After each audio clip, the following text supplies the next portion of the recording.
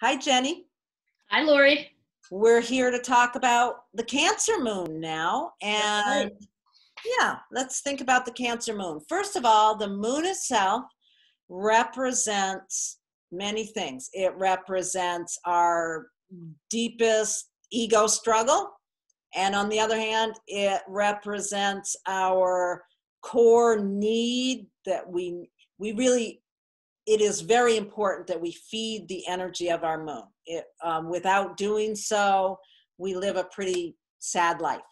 So it's very important that we understand and know what sign our moon is in. Um, what else do you want to say about just the natal moon? Um, I, that it ties in with our connection to the feminine. Um, there's an element that links it to creativity. Um, is a, it's just that whole feminine yin aspect of things. Yeah, and it's such a deep, deep part of us. Mm. You know, I, I think of the sun, the sign that the sun is in is kind of the energy that serves all of us. Mm. And yet the moon is really what we need to follow. It's more, mm-hmm. it's more personal to us. Yeah, and I do really like that whole idea of like this is where we do the work. This is where we have the ego struggle and we do the work. And it's not something where you just do it and you check the box and you're done. It's it's a constant process as you encounter the different parts of your life. Right, right. So, yeah.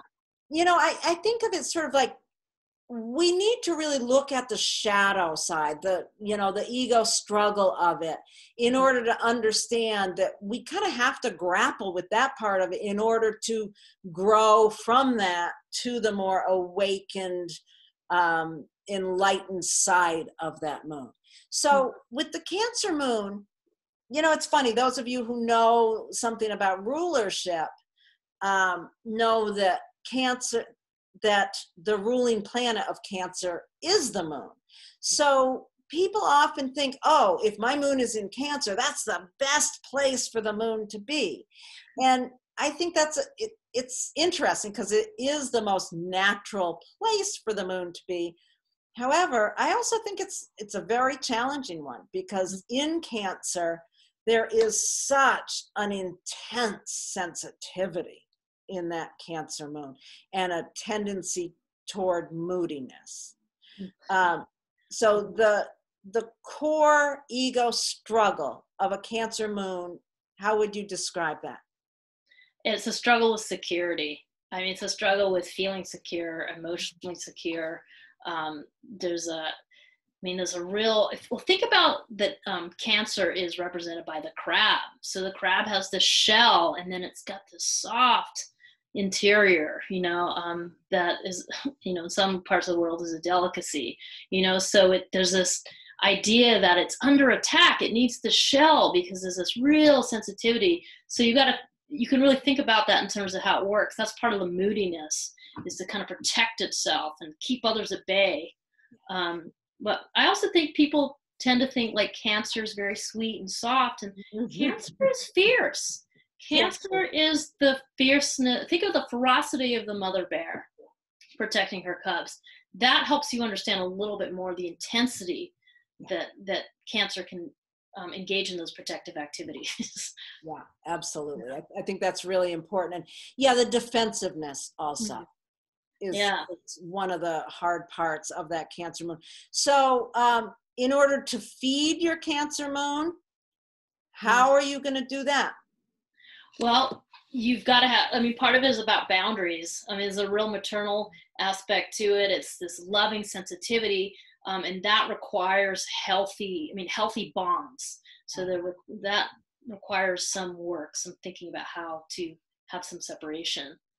Um, and cancer is a water sign, so it's just absorbing everything around it. So one, anybody with a cancer moon has to learn how to work with that energy in one one way or another. And i think our examples will help illustrate that too. Yeah yeah. So on the other side of the work of growing out of the more difficult sides of the cancer moon into the more positive what is the awakened state of of the cancer moon? Uh, I mean, the awakened state is, let's see, um, yeah, it really is that awakened sensitivity, nurturing, and, and love. Just yeah, love. Like yeah, you know, yeah, the vulnerability of love. You know, the Cancer Moon. The the hard part of it is the protection, but then the open, open, illuminated side of it is just the the allowing that vulnerability of love. I think in some ways it just represents like how at some level you know we want our moms when things are tough. You right. know we want to be with our mothers and that it's it's that whole um that kind of describes it. Yeah and people with a cancer moon you know generally speaking have very strong connections to their mothers. You know depending obviously on aspects to the moon and all that it can it can be not uh, not great. It can be quite difficult but it's there's that that powerful powerful bond with with the cancer moon. So who do you have for an example? Well if i have two people um, elizabeth kubler-ross okay. i looked at first and perfect um, example.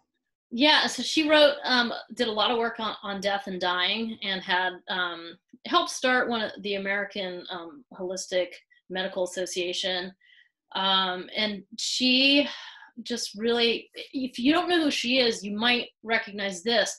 She developed the five stages of grief.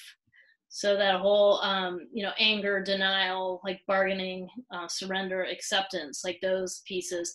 Um, the, and I think that was part of her gift to the world to help you kind of mother yourself through really difficult times. Um, there are some other things about her moon that kind of help you understand in which direction it was sort of colored, so to speak. So she has a Uranus contact in the moon. So that means she did groundbreaking work, this unusual work. Um, yeah, so. So before, you know, while we're talking about Elizabeth Kubler-Ross, I just have to mention that I'm in the middle of reading a book right now that is written by one of her, um, a person that she mentored and she wrote some books with him. I can't remember his name, Stan Keller or something like that. Anyway, the name of the book is Finding Meaning, the sixth stage of grief. Hmm. And anyone anyone who's dealing with grief get that book it's really really excellent it just you know like she developed those first five stages and um, before she died he was working on it and she whatever they worked together but this uh, sixth stage of grief of finding meaning in it. I just thought mm. that was really important. Okay. Cool. Yeah. Do, do you want me to go on to my examples or did you have something more? Well, the other one I think is that is Robert Frost, who we both had mentioned, and you know his he's one of I think he um, well, he was a poet laureate for Vermont, yeah. and he definitely uh, won the Pulitzer Prize, I think four times. I think it was a record. Um, so his poems influence generation, and it's just interesting because he actually had the same moon placement as Elizabeth Kubler Ross, with it being in the fifth house of the giving of the creative, or giving of love, creative um, projects in the world. Mm-hmm. And he, but he had a, he had different contexts. He had a very like sort of sadder, a lot of grief and loss in his life that came through his poetry.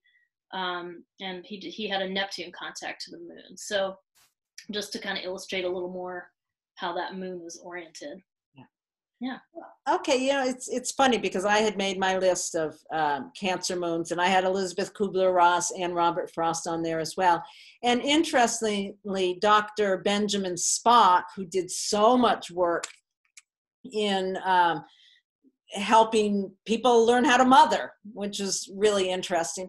And then there's some, you know, another group of people that I had listed with Cancer Moon Willie Nelson, Kurt Cobain, Cass Elliot, um, Janis Joplin, Jimi Hendrix, Boy George, and Aretha Franklin. I thought it was interesting that there's a lot of music here. There's a lot of um, bringing the emotion forth through music and a lot of these people you know the whole idea with that cancer moon the, the hard part of the cancer moon of really wearing your heart on your sleeve you know you think about some of the suffering kurt cobain cass elliot janis joplin you know those were um, hard public expressions of that deep Cancer moon.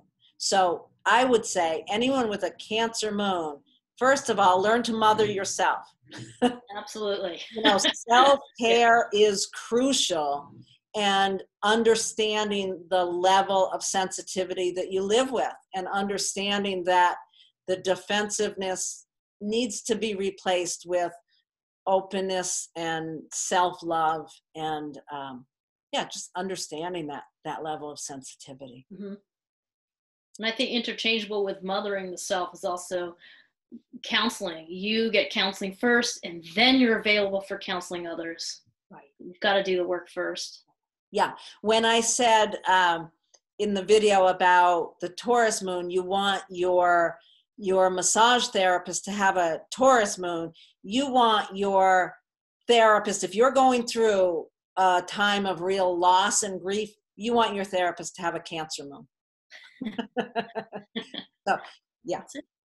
I think that's about all we need to say about the cancer moon today. Yes. All right. Well thank you jennie. Thanks laurie. We'll tuning in people. Okay. we'll, we'll talk soon about the leo moon. Thank you. Bye. Bye